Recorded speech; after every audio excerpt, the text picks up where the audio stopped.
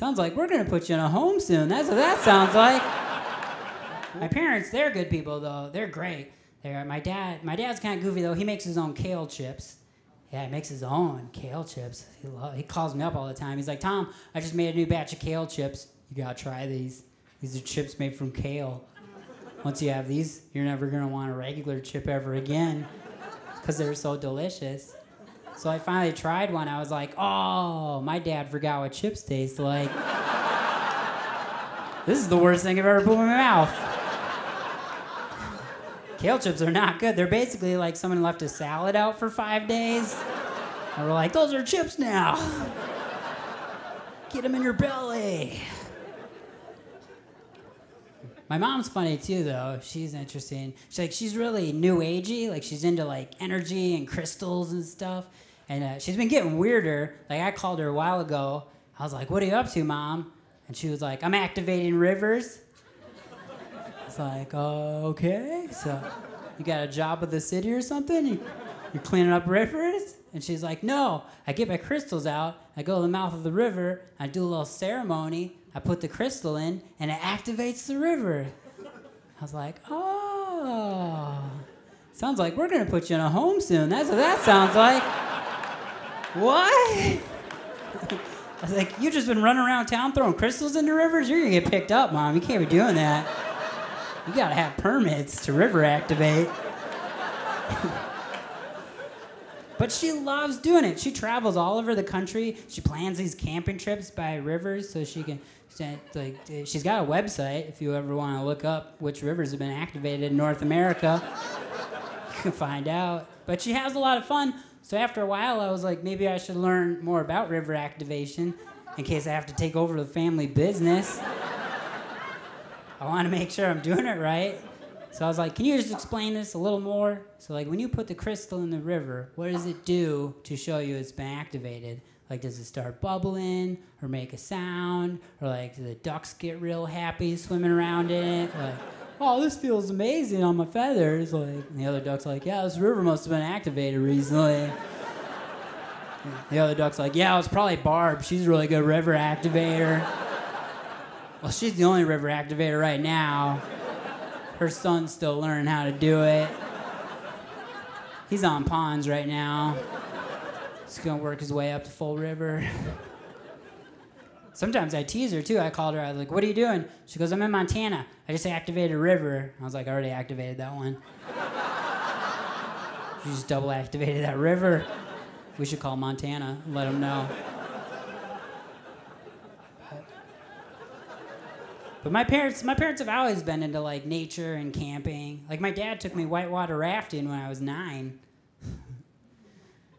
when I was nine, do you see this in front of you? Is this screaming whitewater rafter to everybody? Like I weigh about 125 pounds right now. Can you picture me when I was nine? I weighed 38 pounds. I weighed 38 pounds, bigger glasses, no eyebrows. And my dad walked in the house, looked at that, and was like, that kid's ready to hit some whitewater rapids. But I was not ready. I flew out of the boat, yeah.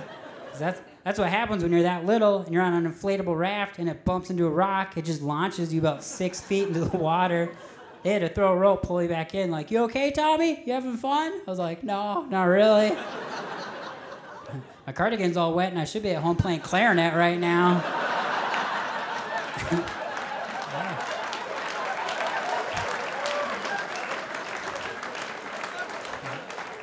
I really don't know what I'm doing with this river.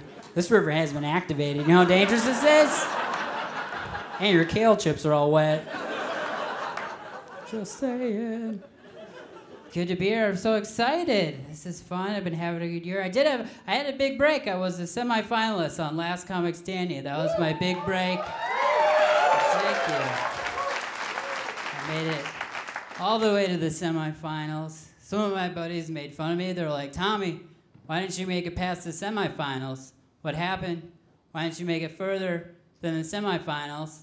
I was like, well, I'm originally from Minnesota. I watch a lot of Minnesota sports, so I thought the semifinals was as far as you could go.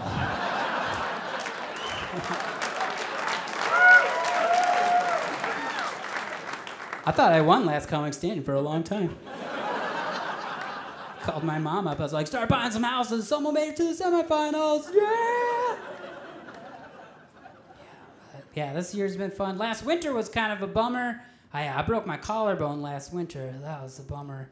A couple days before Christmas, I broke it. I was doing something pretty dangerous. A lot of people have heard themselves doing what I was doing. I was carrying groceries. I had two bags. They were pretty heavy. And somebody had put ice all over my driveway for some reason.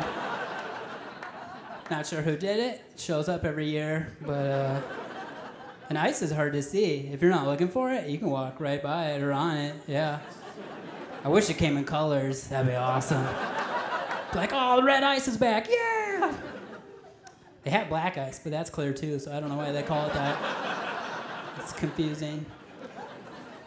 so I didn't see it. I was walking my groceries. I lost both my feet. I flew up. I landed right on my shoulder. And right when it hit, I was like, oh, that feels different than it's ever felt before. Like it hurt so bad. And then my body just started making pain sounds that's never made before. Started coming out of me. And I thought I would have a manly pain noise. is what I always assume. Like you seem like you would have a manly pain sound. Like you'd be like, and then your beard would grow a little bit more.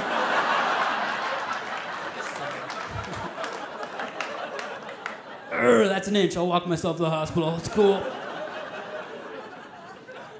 But, but my pain noise went up. Like it was just like, ah, ah, ah, ah, just laying in the driveway, surrounded by groceries, so I could survive a couple days. Nobody found me. Luckily, my wife heard me. She, she came running out, threw me into the car, drove me to the hospital. All the doctors came out. They're like, Is your wife in labor? I was like, That was me. I made those sounds. I think there's a baby in my shoulder. Feels like twins. So then they brought me into the emergency room, and it was winter, so I had a bunch of layers on. So the doctor's like taking off my coat and cardigan and stuff, and he got me down to just a white T-shirt, like my undershirt, and he goes, "Sir, is it okay if I cut your shirt off?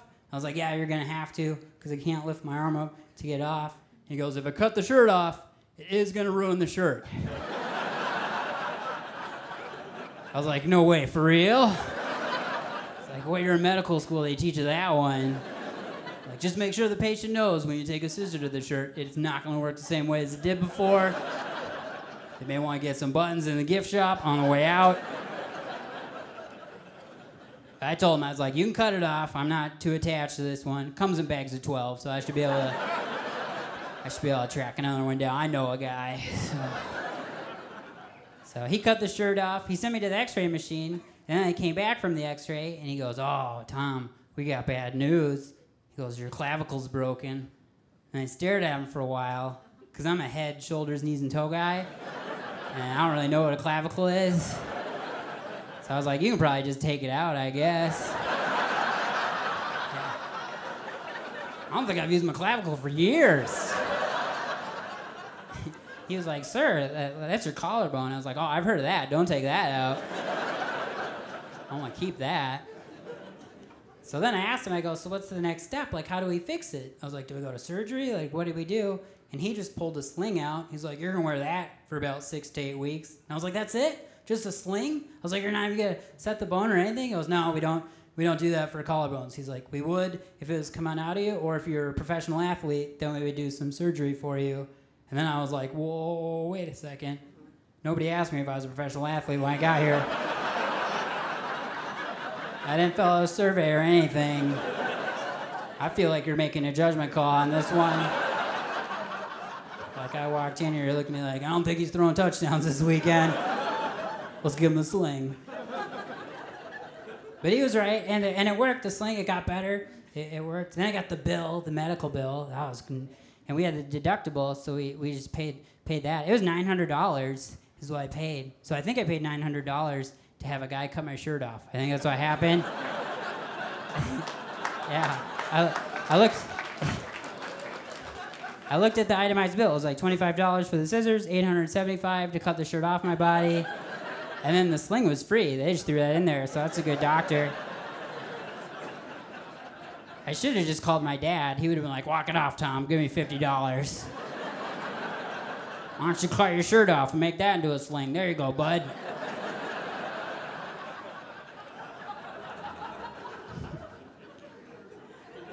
I'm kind of an awkward person. Like I break my collarbone in awkward ways. I've just I've been awkward all my life. Like there's just awkward things about me. Like I don't have I don't have eyebrows.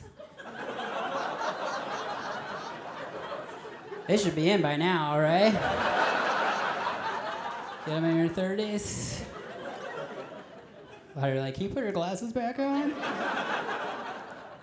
Yeah, eyebrows are important. Like, you got great eyebrows. Look at those. Way to go, man. Like, I bet when you're surprised, people know you're surprised. oh, I'm so jealous.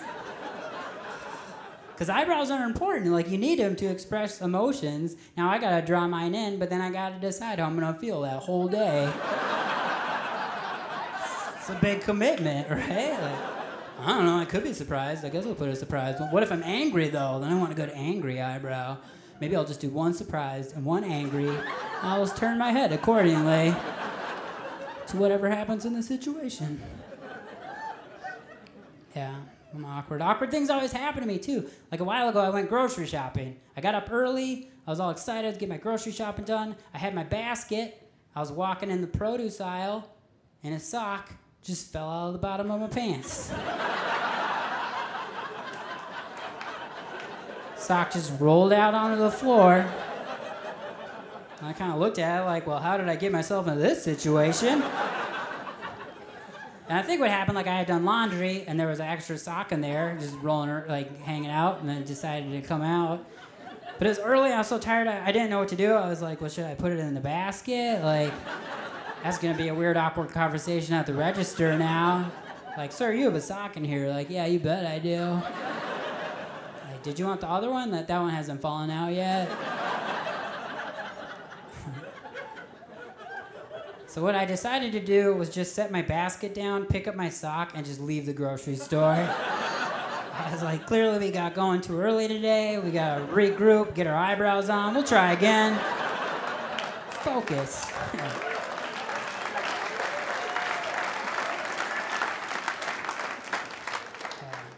Yeah. I've had multiple awkward experiences at the grocery store too. The, sec- the second awkward thing that happened at the grocery store, I got yelled at by the grocery cart corral guy.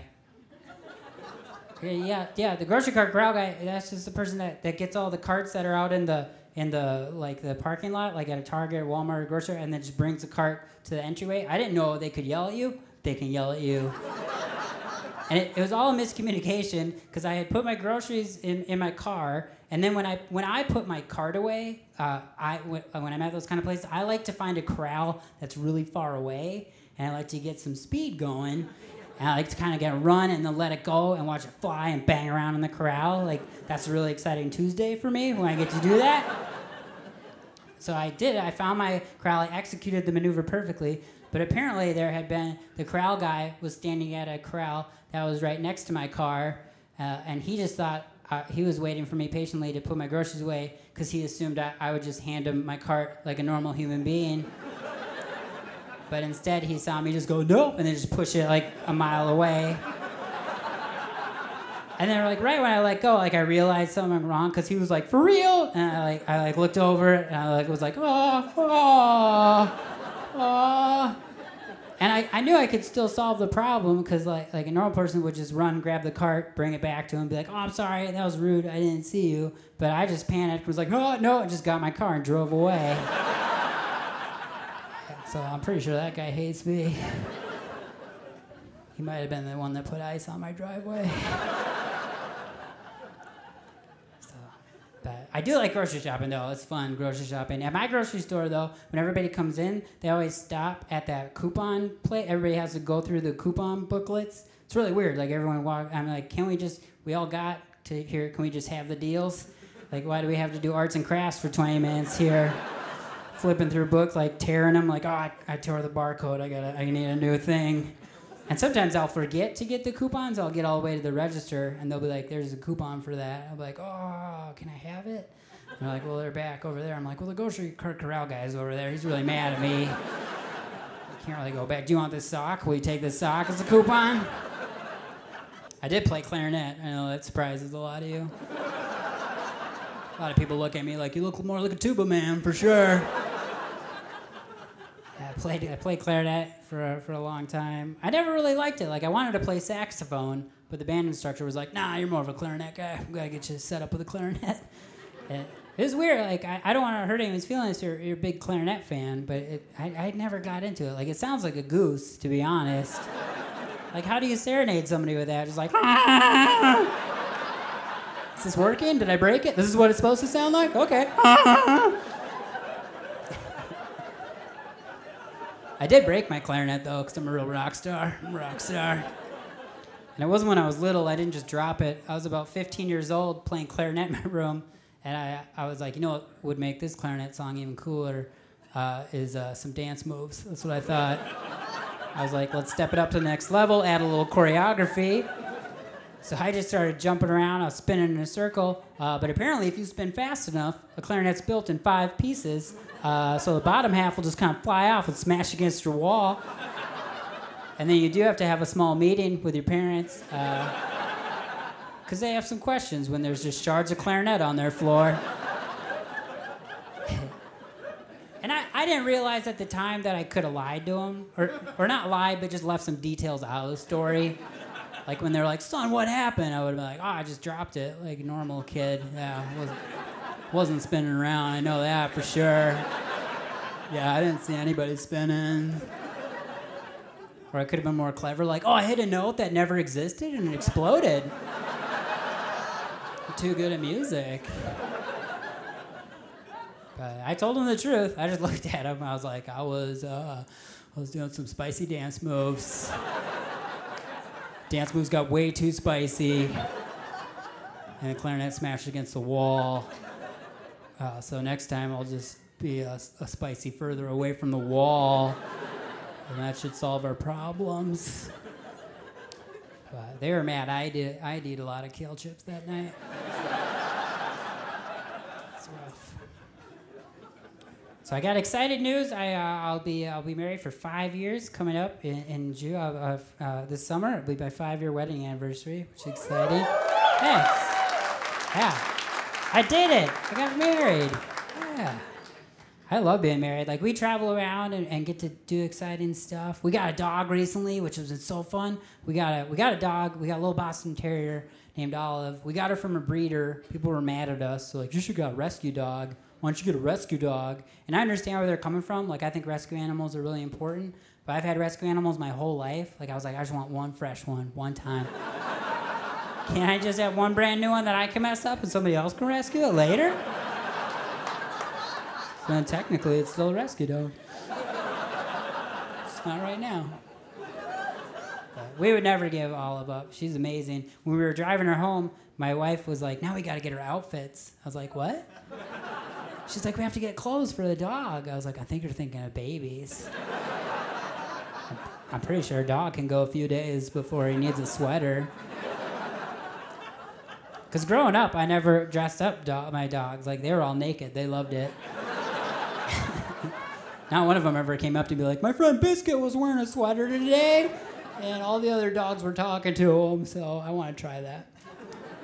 But it is fun to dress the dog up though. Once you start, it's a good time. Like we get we got sweaters for her, jackets, like costumes. She's got Wonder Woman costume, dinosaur costume.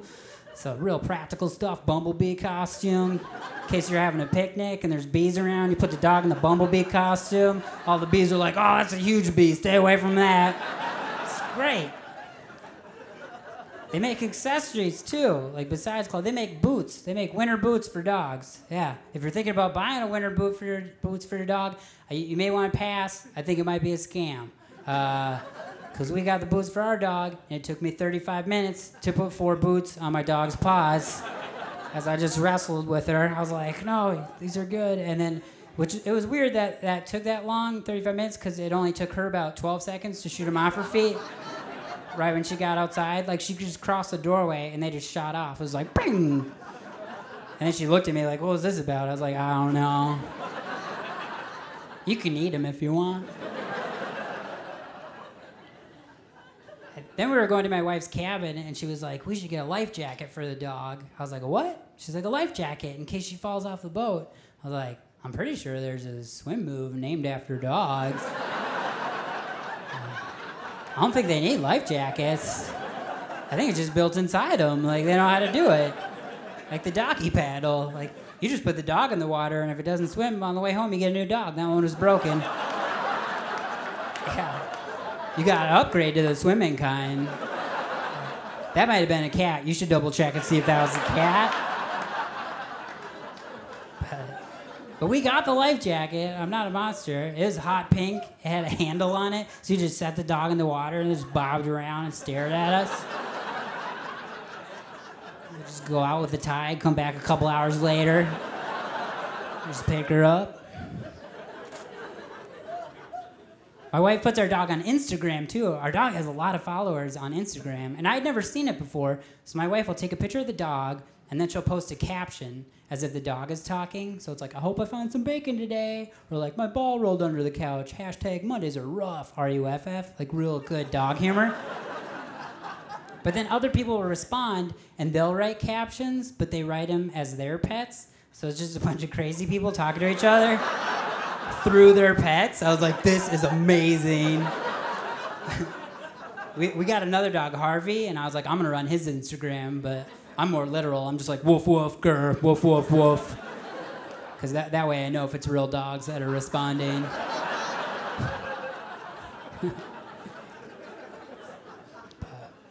we moved into a house recently, and the house is fun because the dogs can run around the backyard. We have more space. Um, but if you own a house, I didn't realize that comes with maintenance. Yeah. Did you know that? You have to fix stuff. What? And I'm pretty handy. Like I have a tool belt, but it's just a regular belt that I duct tape a screwdriver and a hammer to. I like to walk around the house. It looks cool. And I fixed some things. Like the first thing that happened, we had storms in our neighborhood. A lot of people's trees fell down. None of our trees fell down, but our whole cable for our TV, the cable just dropped into the backyard. And my wife is like, Tom, can you take care of that? I was like, You bet I can. So I called the cable company. I was like, Hey, this is Tommy. I just want to let you know my cable fell down on the ground. I needed to go back up in the sky where it was before. And then the guy on the other end, he was kind of confused. He's like, Well, actually, the computer's telling me your cable's working. And I was like, Oh, yeah, it is working. Uh, it's just on the ground, though. And normally it's up in the air. So I thought I'd call you. We could get that tossed back up in the air. And he kind of paused. He's like, No, Mr. Ryman, the computer is, is telling me it's working. And I was like, I know this is a curveball. This is a weird situation right now. Yes, the cable's working. I can watch TV, but every time I go outside to mow my lawn, I gotta lift a cable up every time I make a pass. It's, just more work than I want to do. I was like, is this the number I called to put cables in the sky, or is there a different number that does that? Maybe you could transfer me to, or if you want to kick this up to a supervisor, I'm ready if you are. I'm enjoying this conversation though. And then he was like, Well, I'm in Seattle. And I was like, I don't know what that has to do with anything. I was like, Do they just have their cables on the ground in Seattle? Is that a new thing they're doing? People just drive over them and stuff? I was like, Do you want to know where I am? I'm in my backyard staring at this cable that's on the ground. I really wanted to go back up in the air. I was like, Do you want me to unplug it real quick so it says it's not working and then plug it back in? Like, I'll unplug it, you hit the button that sends the person out, I'll plug it back in. Come on! So then he was like, fine, we'll send somebody out. So then this huge guy showed up in my house. He's like six foot, had a big beard, and he just put up like two twisty ties and stared at me the whole time. so like, you couldn't figure this out, little guy? You couldn't found some rope or duct tape from your belt there? Put them up here? I was like, he didn't tell me about the twisty tie trick.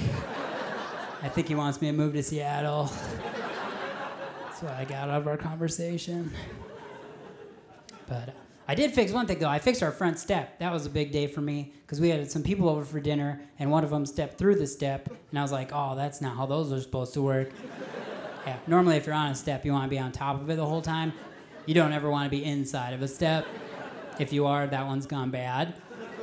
So no one got hurt, luckily. So I ripped up the old plank and I ran to Home Depot, and I was like, "Where's your step section? I need a new one." And uh, they brought me to the lumber yard. I've never seen so many steps in my life. At thousands. I was like, I only need one today, but it's good to know you guys have backups. So they cut it down to size for me, and I came home. I screwed it in. I was so proud of myself. Like I called my dad right away. I was like, "I just fixed the step. Let's go whitewater rafting. I'm ready. Let's do this. I'll bring the kale chips." Yeah, it's fun. My wife. I uh, the with the other thing we tried this summer, we tried gardening for the first time. Any gardeners in this crowd? Big gardeners here? Yeah, there's a rowdy bunch. Gardeners. What do you like to garden? What do you like to garden? Kale. Kale? Doors that way. You can let yourself out. We can edit you right out of this special. Do you really grow kale? Nice. Well, that's good. I'm sure. Send it to my dad. He'll buy it from me. He needs a good supplier, so we can, we can set something up after the show. That's great. So do, do you grow other vegetables too as well? So like like tomatoes or tomatoes, carrots, beets. Oh, you're gonna have a great salad in three to four months or whatever. yeah, it is fun to garden though, isn't it? It's it's good. You get to watch something grow. Like I tried. We, we we tried to grow a pepper plant. That's what we were growing. We were, I was at the uh, farmers market. They had one that was halfway done. So I was like, can't screw this up too bad. And uh, I came home. I brought the plant home. I set it on the deck. I was watering it every day. And exciting. It's exciting because you're watching this this thing grow. And I was like, at the end of the season, I'm gonna eat the pepper, and that's gonna be a big day for me. And uh, one day, I was in in my living room, just staring out at the uh, at the deck at the pepper plant, and out of nowhere, a squirrel just ran up. Yeah, everything went into like slow motion. I was like, "What's happening? What's what's going on?" And he just like walked up the back steps. I swear, he looked me in the eyes, grabbed the pepper, bit it, and it just ran off. And my wife was sitting there. She's like, "I think that squirrel just stole your pepper." And then my buddy, I, I was devastated. And then my buddy was like, "Well, why didn't you put some chicken wire around the plant?" And I was like, "Were you not even listening to the story? It was a squirrel. There was no chickens at all." Yeah. So that guy has no idea what he's talking about. But, but that's what I learned. Like, I'll never be able to live off the grid. Like, that's not gonna work. Like, you sound like you could be really self-sustaining. You could have beets and kale all day, but if the zombie apocalypse happens for me, it's not gonna be good. What happened to Tommy? Like, oh, he was dead within two days. Did the zombies get him? No, it was the squirrels. Squirrels. Squirrels ate his pepper.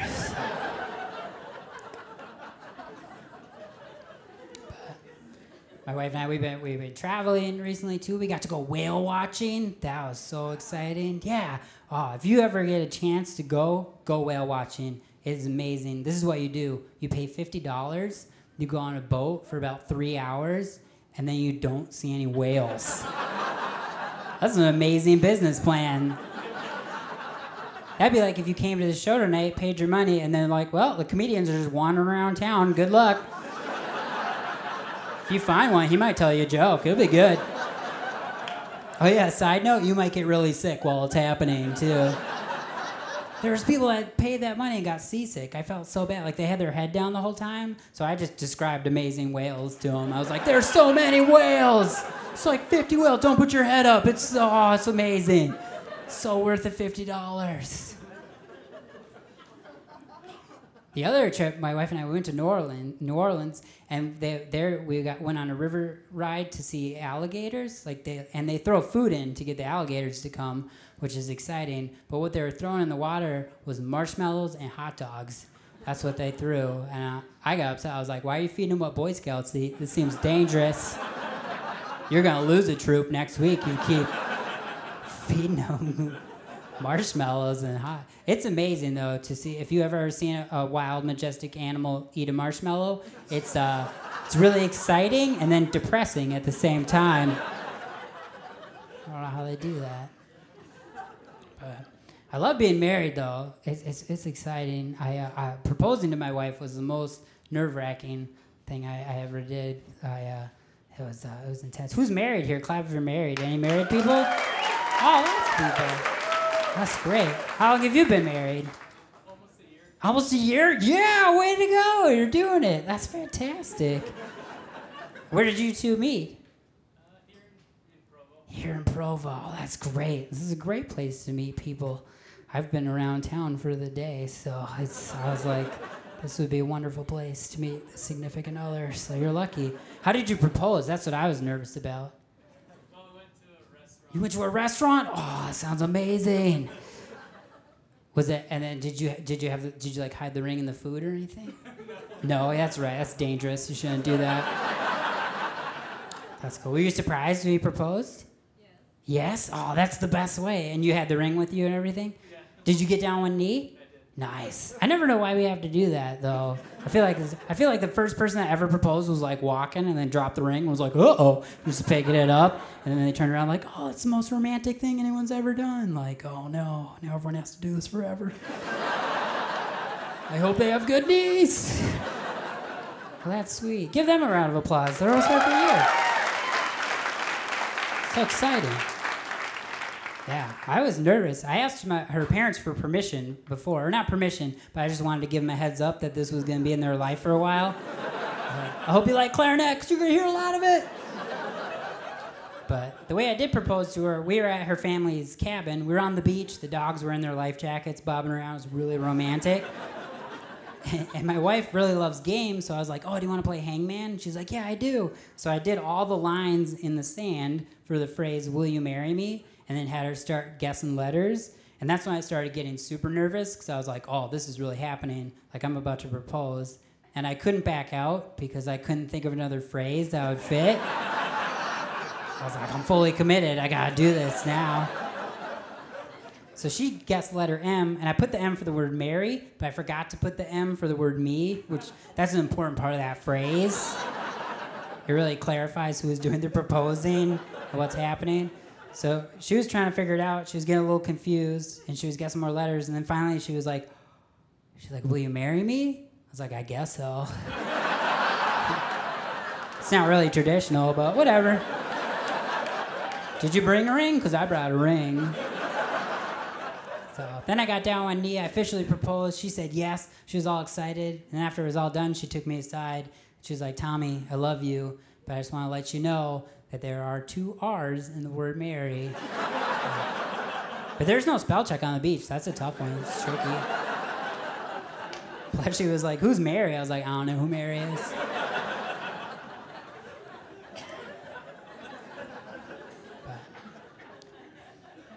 for our honeymoon, we, we drove around Lake Superior because a lot of people were like, that's just like Hawaii. Why don't you drive around one of the Great Lakes? Uh, but it's not like Hawaii. It was a lot like driving around a big lake. That's a huge lake. It was fun though. Like we camped and stayed at lodges, but it was a lot of driving. I got pulled over too, accidentally pulled over, which I didn't know was possible. But I do things a little differently. like like we were up by Duluth, Minnesota, and we're driving, and a state trooper came right behind my car, and he just started shouting at us over the loudspeaker. Like he was just like, "Blah, blah, blah, blah, blah," like mumbling. And I, I turned to my wife. I was like, I think we're getting pulled over. I was like, maybe they've had budget cutbacks, so they don't use lights and sirens anymore. And apparently they just mumble at you till you pull over. So I started pulling over, and as I was pulling over, I realized another state trooper had pulled somebody else over. So this guy was coming for his backup. Because then he started yelling at me more. He's like, I'm not pulling you over. Get out of my way. Don't pull over. But I had already pulled over, so I was like, I'm kind of stressed out. You got to give me a second. This is an intense situation. And he was like, Sir, just move your car. Please get out of the way. So I started to get back onto the freeway, and a car just flew by. And he was like, Well, don't pull into oncoming traffic, sir. you know what? I'm to have you stay there. I was like, now I really am pulled over. I just pulled myself over. This is fantastic. I was like, maybe he'll let me fill the ticket out too, like self checkout. I can just do this all by myself. I'll probably give myself a warning. That's what I feel like I deserve in this situation. So then he came walking up to the car. He's like, What's wrong with you? I was like, Oh, it's been a big day. Where do you want to start? I was like, I can't spell Mary right. My dog's wearing a life jacket in the back seat. Trunk is filled with kale chips. But he let me go. He's like, You're a goofball. Get out of here. So now I just never pull over for cops no matter what.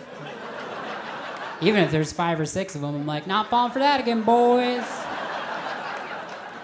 Little bit what? But yeah. I love my wife though, cause we get we get we like get along because we think of things the same way. Like we had, like we were we had to move a dresser. We had to move this big 150 pound dresser from our upstairs to our downstairs. And my wife is like, we should take our shoes and socks off so our feet grip better. And I was like, oh yeah, that makes sense.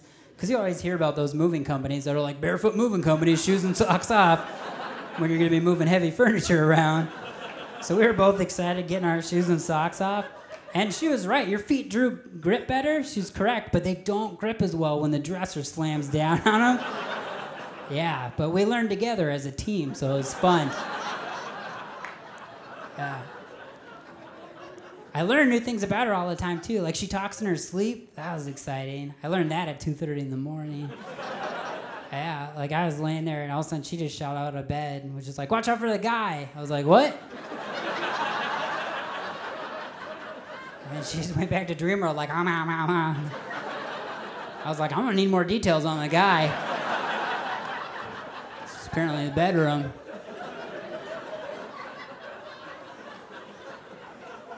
Sometimes she just laughs in her sleep too, which is exciting. She doesn't even talk. But She has a beautiful laugh. That's one. Of, I mean, as a stand-up comedian, that was a g- great. It's wonderful. But when it comes out at 3:30 in the morning, it is terrifying. Like, what are you laughing at? Is the guy back? What's happening? Let's get the dresser.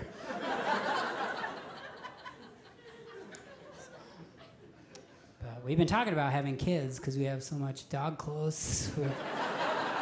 we could put that on a human. When, uh, when we first moved in together, my wife and I, she wanted a rat for a pet. I didn't know people had those for pets. I thought they just lived in sewers and stuff. Uh, but I love my wife, so I was like, if you want a rat, we'll go get one. So we went to the Humane Society and we bought a rat. Now, here's some advice if you ever do any rat purchasing in your future, definitely go new on the rat. Yeah. Don't go rescue on the rat. Pay the extra $3 and get a brand new rat. Because we bought a used elderly senior citizen rat. And, and, rats only live two to three years anyways if they're healthy. So this guy lived about three months and he died. He died in my wife's hands. Like she was in the living room. I was in the kitchen making a grilled cheese having the time of my life. When when from the other room i heard deep sadness that i'd never heard before. Like real guttural just like ah, ah. and i was like is she playing clarinet without me? Like what i gotta go jam so so i came I came running in, and she just had the, her pet in her hand. I felt really bad because that's her buddy and her friend, but at the same time, I was like, we need to get that dead rat out of her hands as soon as possible. Because I'm pretty sure that's what took Europe out. I read about it in history. Yeah. We probably shouldn't have it in our living room. So, so we put it in a shoebox and we, we set it on our deck. And I was like, "What do you want to What do you want to do with the rat?" And she was like, "I want to bury it." but it was February in Minnesota, so that did not work out very well. So I was like, what are other options? And she was like, maybe we could cremate it. And I was like, what? Like, I just finished a grilled cheese. I've never done something like that before. She was like, no, professionally. I was like, oh yeah, we should pay somebody. That makes sense. We should get, we should get some experts. And uh, we looked into it, and there were places that would cremate the rat, uh, but it was going to cost $100 to cremate the rat which exceeded our rat cremation budget by $100. so then we had the rat on our deck for a couple days, which was like a visitation for the neighborhood animals to say their goodbyes. And my wife came home and was like, Tommy, we got to figure out what we're going to do with this guy. So what we decided to do was just drive around town till we found the most beautiful spot that had a garbage can and we said some words and we laid Lex Luthor to rest underneath some nice newspapers. He was by a really pretty lake. My mom came and activated it. It was a beautiful funeral. Thank you so much. Yeah, it's wonderful. Thank you.